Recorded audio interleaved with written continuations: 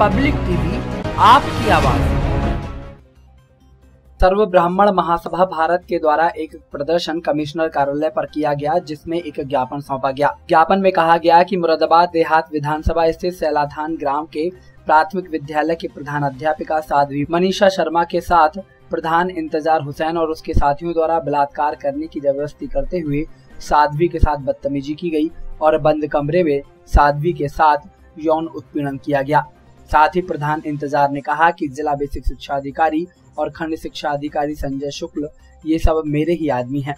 पीड़िता द्वारा पंजीकृत रिपोर्ट दर्ज करवाने के बाद भी आज तक कोई कार्यवाही नहीं की गई, जिसके कारण पुलिस के लचर व्यवहार करने के बाद कोई कार्यवाही नहीं हुई, जिसकी वजह से ब्राह्मण समाज में निरंतर रोष बढ़ता जा रहा है।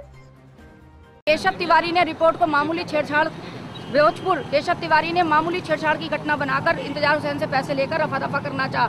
मुझ पर भी धमकियाँ दी गई। उसके बाद गीता शर्मा, मैंने महिला थाने में करवाया। गीता शर्मा ने भी दबाव में आके उस विवेचना को बिल्कुल एक छुपाई, मेरा मेडिकल छुपाया, मेरा अल्ट्रासाउंड छुपाया। उच्चतम न्यायालय में बात दाखिल होते हुए भी निचतम न्यायालय मुस्लिम मजिस्ट्रेट से उसकी जमानत कराई गई, जिसके साक्ष्य सब है। गत चौदह तारीख को भी अभी इंतज़ार हुसैन ने मुझ पर हमला किया अपने छह साथियों के साथ में जिसमें मुझे कम से कम दो इंच चाकू मेरे गुप्तांग में लगा है जिसका मेडिकल हो चुका है सारी चोटों का मेडिकल हो चुका है। इस ज्ञापन के साथ अन्य लोगों ने कहा कि यदि प्रशासन के द्वारा इसी तरह से महिलाओं का उत्पीड़न कराया जाएगा तो आखिरकार महिलाएँ सुरक्षित कहाँ हैं? जहाँ शासन के द्वारा महिलाओं को बढ़ावा दिया जा रहा है तो वहीं लोकल प्रशासन के द्वारा इस तरह की वारदातों को बढ़ावा दिया जा रहा है। जिससे महिलाओं का उत्पीड़न हो रहा है। ज्ञापन में कहा गया कि जल्द ही पीड़िता को न्याय दिलाया जाए और दोषियों के खिलाफ कार्यवाही की जाए।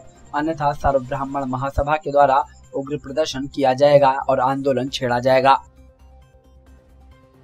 आरोपी इनसे पहले से जो ये मिड डे मील होता है योजना, उसके अंदर भ्रष्टाचार भ्रष्टाचार फैलाने की इनसे मांग कर रहा था कि आप हमारे साथ भ्रष्टाचार में लिप्त होकर जो छात्रों की संख्या है वो ज़्यादा दिखा के और जो इसका अनुदान आता है उसमें वो भ्रष्टाचार की कोशिश इनसे चाहता था जिसका इनका इनकार करने पे इनको इनके साथ यौन उत्पीड़न की कोशिश करी इनके साथ मारपीट की गई। इन्होंने इन्होंने वहाँ पे दरोगा से और यहाँ एसएसपी से अपनी कंप्लेंट करी। एसएसपी ने यहाँ पे जो जाँच अधिकारी बिठाई थी आ, गीता शर्मा जी ने महिला था, थाने की उनके उनकी जो भूमिका केस में रही वो संगत रही। उन्होंने इंतज़ार हुसैन जो वहाँ के प्रधान थे उनके साथ मिलकर इस केस को दबाने की कोशिश करी। जो एक रेप का मामला था उसको मामली छेड़छाड़ का मामला बना दिया गया। आज हम मंडल आयुक्त के सामने आए हैं हम मांग करते हैं उनसे ज्ञापन देंगे सारे सबूत पेश करेंगे और उनसे मांग करेंगे कि जो छः महीने से ये मामला लंबित पड़ा है इसमें तुरंत कार्रवाई हो और एक हफ़्ते के अंदर जो आरोपी है उसको गिरफ़्तार करा जाए। वरना सर्व ब्राह्मण महासभा के नेतृत्व में मुरादाबाद के सभी हिंदू संगठन जो हैं वो सड़कों पर उतरेंगे और जो भी अव्यवस्था उस प्रदर्शन के, के कारण फैलेगी। उसका सीधा सीधा जिम्मेदार जिला प्रशासन और पुलिस प्रशासन होगा। पब्लिक टीवी आपकी आवाज़।